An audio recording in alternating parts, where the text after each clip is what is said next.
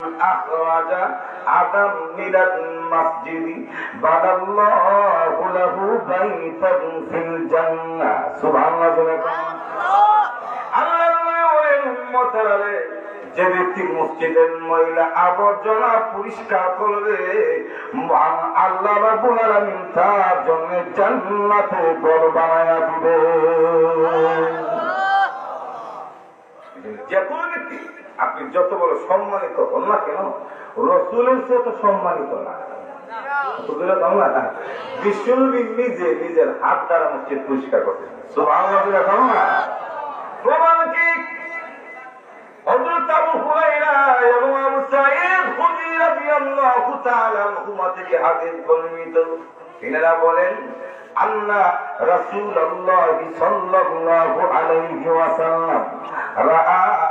নুখামাতান ফি জিদারিল মাসজিদ ফাতানাওয়ালা হাসাতান ফাহাক্কাহা হযরত আবু যায়েদ খুদরি বলেন, জগতের মানুষেরা আল্লাহ নবী একদিন মসজিদে প্রবেশ করলেন তাকা দেখে মসজিদের দেওয়ালের মধ্যে কফ লেগে আছে কফ। অনেক সময় আমরা সমাজও যে মসজিদের গ্লাসগুলি জানালার গ্লাসগুলি সাদা, তাই গ্লাস লাগানো অনেক মুরব্বীরা চোখে দেখে না তো? এরা জানালার ফাঁক মনে করে গ্লাসে তো তোমার। জানালা সাদা গ্লাস সাদা, চোখে কাজ করে না। এমন দৃশ্য যদি আপনারাও দেখেন, তাহলে কষ্ট করে যদি পরিষ্কার করে দেন, আল্লাহ জান্নাতে বল বলা দিবে বলে দেখেন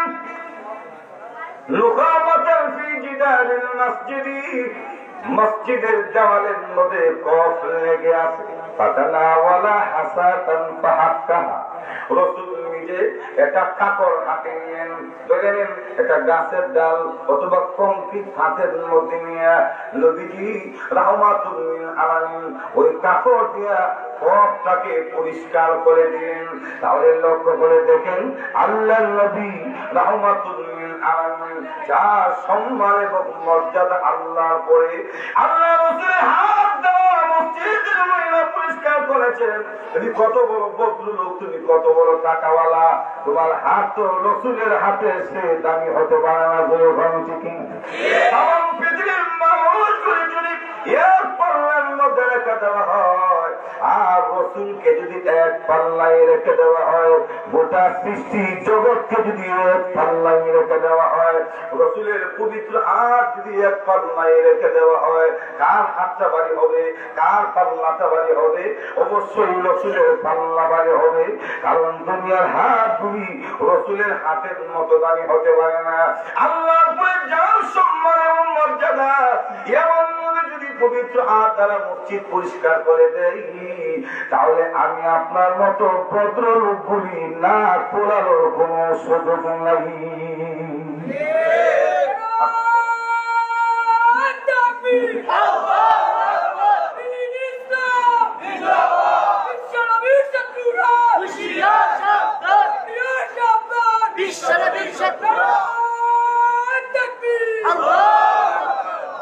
কিন্তু আপনার সমাজে অনেক বদলুক আছে। মসজিদে যদি মনে করেন বারান্দায় মুরগি পায়খানা করে মসজিদে দমক মারে। মসজিদে কেন অনেক জায়গায় তো হাতও তুলে না ওই দিন দেখলাম কত ফেসবুকের মধ্যে এই দেখতে বাইরে হয়ে গেছে। ঢাকার এক মসজিদের মোতাবালি খাদের দিকে সমস্যা মসজিদে বলছো কি তুমি চোখ দিলা কেন? এটা তো তোমার ঘরের সাকন না আল্লাহর দূরে ভাবছি কেন আরও দূরে ভাবছি কে? মনে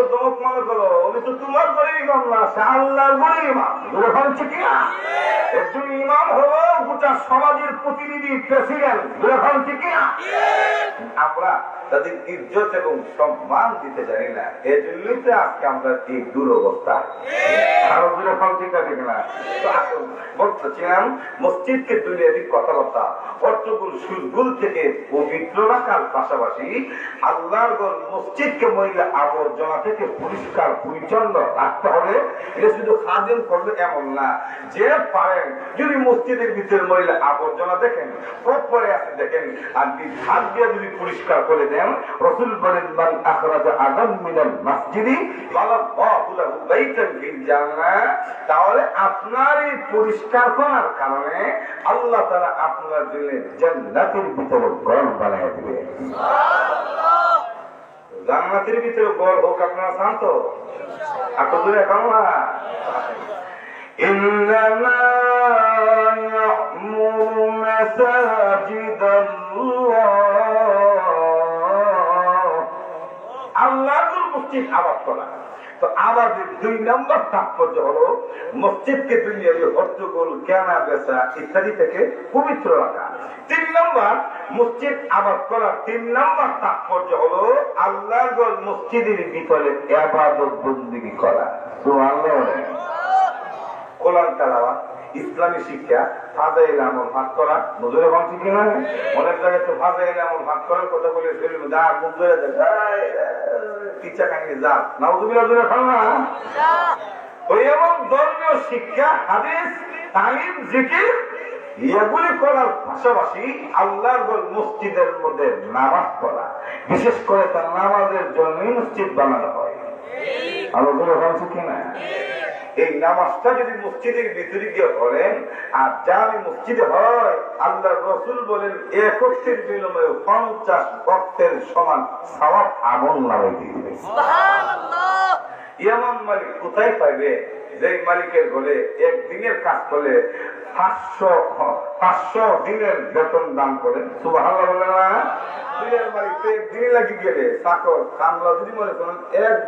একটু এদিক করে বেতন কাছে রেখে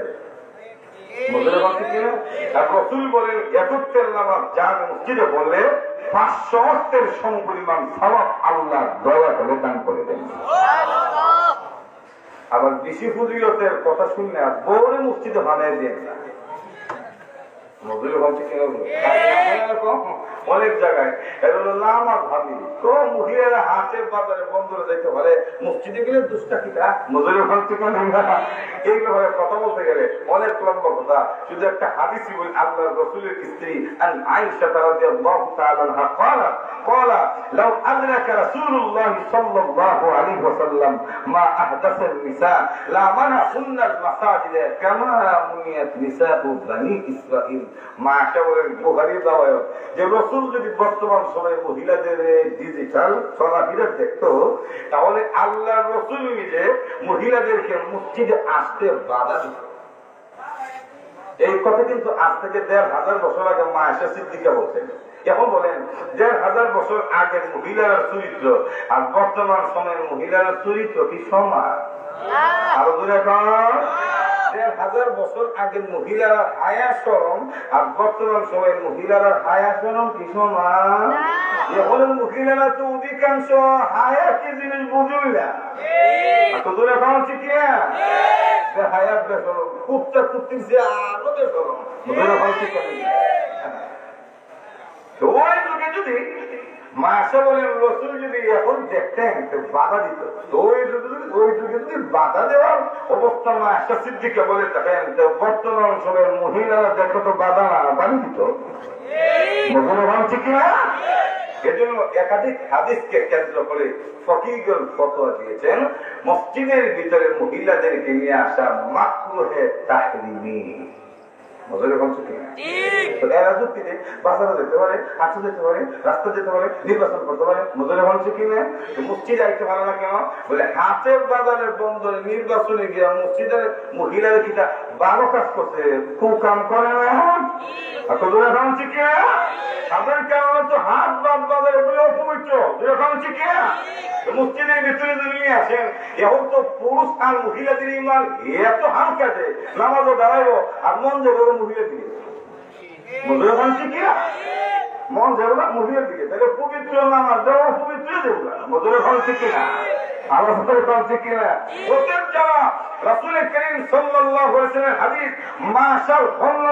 এবং ফুকায়ে কেরামের ফতোয়াকে ওয়াবাস্তে করে যুক্তি দিয়ে মসজিদের ভিতরে মহিলা আনতে চাই এর মতলব ভালো না দূরে ভাবছি কিনা? অসুবিধা হইতেছে না তো? আসুন।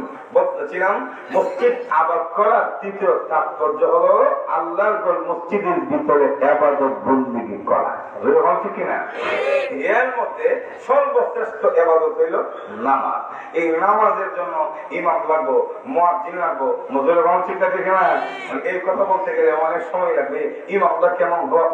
ইমামের দায়িত্ব কি? মুয়াজ্জিন কেমন হওয়া উচিত? মুয়াজ্জিনের দায়িত্ব কি? এবং ইমাম মুয়াজ্জিনের দায়িত্ব আদায় করার পাশাপাশি সমাজের মুসল্লিরারও তো দায়িত্ব আছে না নাই? দু এখন এই দায়িত্ব নিয়ে বলতে গেলে এগুলি বারোটা বেজে গেছে আরও অনেক সময় লাগবো। সংক্ষিপ্ত ভাবে একটা কথা বলে যায় ইমাম যাকে নিয়োগ দিলেন একজন ইমাম দিনদার, তাকওয়ালা, পরহেজগার জানলেওয়ালা আলেম তারা সুন্দর মাস আলা জানে এবং খুদা বিতিওয়ালা, জাননেওয়ালা ইমাম নিয়োগ দিবেন। কারণ একজন ইমাম ইচ্ছে করলে গোটা সমাজের কালচার পরিবর্তন করে দিতে পারে আমি বলে কম এজন্য আমরা তো যোগ্য ইমাম হারে হইতেছি। আল্লাহ রসুল বলেন যে ইন্নামিল আশরাতিস সাআ ইয়াতাদাফা আহলু মসজিদে লা ইয়াজিদুনা ইমামান ইউসাল্লি বিহিম এমন একটা সময় আসবে মসজিদের ভিতরে দফা তর্ক বিতর্ক মতানকের কারণে মুসল্লিরা যোগ্য ইমাম মসজিদে নামাজ পড়ানোর জন্য পাবে না। বুঝলে ভালো ঠিক কিনা? এই দফা অনেক ব্যাখ্যা আছে। এর মধ্যে একটা ব্যাখ্যা আমি যতটুকু বুঝি মসজিদের ইমাম সামলার বেতন কম দেওয়া। আমার তো আম- আমরা লাভের কথা বলছি তো। কারণ যে যুগে একজন ইমাম, যে যুগে এক কেজি গোস্তের দাম সাতশো টাকা। এই যুগে মসজিদের ইমামের বেতন পাঁচ হাজার হয়ে কেমনে? আমরা দিদিকে কুস্তামুখ মাছ না মজুরে বলছে কিনা? সাতশো টাকা কেজি বুঝতে হচ্ছে। পাঁচ হাজার টাকা বেতন পাঁচ হাজার টাকা বেতন দিয়ে তো ইমাম মসজিদের মাইক আর মোমবাতি চুরি করা ছাড়া কোনো উপায় নাই। আরও দূরে ভাবছি কি হ্যাঁ? কিন্তু আমরা ওই বেতন বেশি দিতে পারব না। পারব না পারব। কিন্তু দেই না। কৃপণতা উকিলতা, মাস শেষে, বছর শেষে পঞ্চাশ হাজার টাকা কমিটি মসজিদের আয় দেখা কিন্তু ইমাম সাহেবের বেতন পাঁচ হাজার নজরে বলছে কিনা? এই জায়গায় আমাদের দুর্বলতার কারণে অনেক যোগ্য, সচেতন, কথা বলছেন, যোগ্য যোগ্য আইনগুলি কর্মমুখী হয়ে যাচ্ছে। এজন্য এমন একটা সময় আসবে, আমরা যদি মাইন্ড পরিবর্তন না করি, আমরা যদি সচেতন না হয়, বিবেকবান না হয়, তাহলে সমাজের কর্ণদার যোগ্য আইনগুলি মসজিদ, মাদ্রাসায় পড়ানোর কোনো সুযোগ নাই, ব্যবসা বাণিজ্য দিব। কারণ আপনারা হাত কিতাব কাছে আরও ডাবল লাগে না আপনার ব্যবসা করতে পারব কেন? কিন্তু আমরা যোগ্য এবং যথাযোগ্য ভাবে তাদের কদর না করলে তেলের দাম আর ভেজের দাম যে বাড়া বাড়তেছে। ইমাম সাবরা চাকরি করে মসজিদে নিজের প্ল্যাটফর্ম দূরের কথা বউ বাচ্চা না হতে দাম তো সম্ভব হবে না। তখন দেখা যাবে হুজুর, এখানে পালায় না মাছ না যায় না এ বেদো ইমামতি করব। ইমামের নামাজও না মুসলিমের নামাজও না এই জন্য আশরাফ আলী তানবী রহমতুল্লাহ আলাই একটা দৃষ্টান্ত দিছে বলব? আপনাদের এখন না? ইমাম সাহেব নামাজের মধ্যে নামাজ নামাজ যখন দাঁড়াইলে মুসল্লিরা নামাজ দাঁড়িয়েছে, নামাজের ভিতরে নামাজ শেষে মুসল্লিরা সাহসের দিলেন আমরা তো জানি ওয়াজিব তরফ হলে সাহসের দেওয়া লাগে। তো বাহ্যিক কোন ওয়াজিব তরফ হওয়ার মতো তো কোনো ভুল আপনি করছেন না। সাহসের দিলেন যে, ইমাম তখন বলে, আরে নামাজের ভিতরে আমার বাতাস গেছে। এবং বলেন নামাজের ভিতরে যদি উজু ছুটে জায়গা নামাজ দিব। তো বলন তোর হয়ে গেছে না উজু না সাহসের তো দিয়ে নামাজ দিব। তাহলে এই ইমামটা কেমন ইমাম মাস্টারও জানে না। তা আমরা যদি তাদের কদম না করি এমন ইমাম আমরা কপালে যুদ্ধ জুড়ে ভালো ঠিক না এই জন্য সচেতন হন, সুচ্চার হন। যোগ্য ইমাম, যোগ্য মার্জিক নিয়োগ দিয়ে আল্লাহর ঘর মসজিদে ইবাদতের পথটা উন্মুক্ত করে দেন। আল্লাহ রাব্বুল আলামিন আজকে এতটুকু থাকবার যে সেটা আল্লাহর ঘর মসজিদের আমাদের যে তিনটা ব্যাখ্যা দিলাম, এগুলি বুঝে প্র্যাকটিক্যালি আমাদেরকে আমল করার তৌফিক দান করুন। সকলে বলুন, আমিন।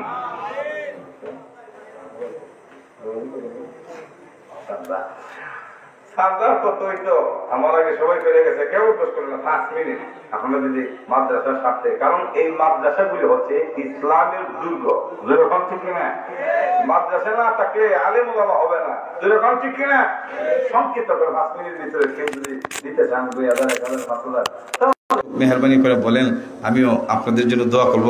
হুজুর, মুরব্বী মানুষ, কথা বুঝছেন দোয়া করবে। আপনাদের দানের উসিলাই মসজিদ, মাদ্রাসাগুলি তো চলে আরও সুন্দর এবং অবকাঠামো নিয়ে আমরা মুতাইম সাহ হুজুর, সুন্দর পরিবেশ আপনাদেরকে দেখাইতে পারবে। কেউ আসেন যে, হুজুর, পাঁচশো, এক হাজার অথবা পাঁচ হাজার টাকা দিলাম। এমন কেউ আসেন আমি জানি, আমার আগেও। ও বোর্ডিং এর মধ্যে চাউলও লাগে ছাত্ররা খায়। আসেনি কেউ যদি এক বস্তা চাউল দিলাম, দুই বস্তা চাউল দিলাম। আমার আব্বা নাই, আম্মা নাই। কথা আমিও তো মরবো ওই দিকে চিন্তা করি সবকে জারিয়ার হ্যাঁ পাওয়ার জন্যে একটু মেহরবানি করে যদি বলেন যে ঠিক আছে, আমিও দিলাম কিছু শরিক থাকলাম অন্য অন্য হুজুরের কাছে দিছি। আসেন এরকম কেউ? থাকলে একটু মেহরবানি করে বলেন যদি ইনশাল্লাহ আমি এক বস্তা চাউল দিলাম। আসেননি কেউ? এক বস্তা চাউল। ইনশাআল্লাহ। আল্লাহ তালা আপনার খেতে বরকত দান করবে, দান চাউলে বরকত দান করবে ইনকামে বরকত দান করবে। আসেন কেউ? একটা বস্তা চাউল। যে হুজুর, ইনশাআল্লাহ মাদ্রাসার মধ্যে দিলাম। থাকলে একটু মেহরবানি করে বলেন, ইনশাআল্লাহ দোয়া হয়ে যাবে। সুবহানাল্লাহি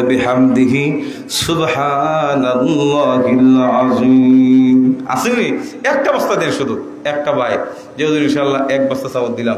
আল্লাহ দিন যেখানে শিক্ষা দেওয়া হয় রসুলের হাদিস যেখানে শিক্ষা দেওয়া হয় কেউ উদ্দেশ্য করবেন? না আপনাদের আখনি মনে আছে? আছে।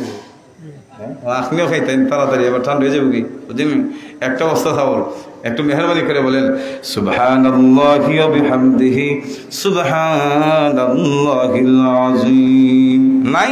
এক বস্তা নাই? তাহলে পাঁচশো টাকা করেই এরকম দেন না। পাঁচ সাতজন বা দশজন মানুষ। মাশাল্লাহ মুদ্রাগানের জন্য একশো টাকা দিয়েছে, আল্লাহ কবুল করেন সকলে বলুন আমিন। পাঁচশো টাকা করলে এমন দশটা বাইসাই আর বেশি না, এক নম্বর পাঁচশো কে দিবেন? এক নম্বর, একটু মেহরবানি করে বলেন যেহেতু আমি পাঁচশো দিলাম। এই যুগে তো পাঁচশো, দুই হাজার, তিন হাজার টাকা। ছেলেদের এমবি খরচই লাগে। যেরকম ঠিক কিনা? এমবি এক একজনের হাতের মধ্যে তো কত দামি দামি সেট? বিশ হাজার, পঁচিশ হাজার, পঞ্চাশ হাজার টাকার সেটও আছে। কত বুঝছেন? এই সেলের ভিতরে আমার তো এমবি লাগে। এজন্য দশটা বাইশ বাইসাই পাঁচশো টাকা করে। ইনশাল্লাহ আমি দোয়া করে দিব। আপনাদেরকে আর কষ্ট দিব না। দশটা বাইশে পাঁচশো করে। আসেননি কেউ? এক নম্বর কে দিবেন? একটু মনে করেন আপনি শুরু করেন ইনশাল্লাহ দেখবেন তো হয়ে যাবে। ভাইয়ের নাম কি? সাইদুল ইসলাম। মাশাল্লাহ লেখেন, নারী তকবীর।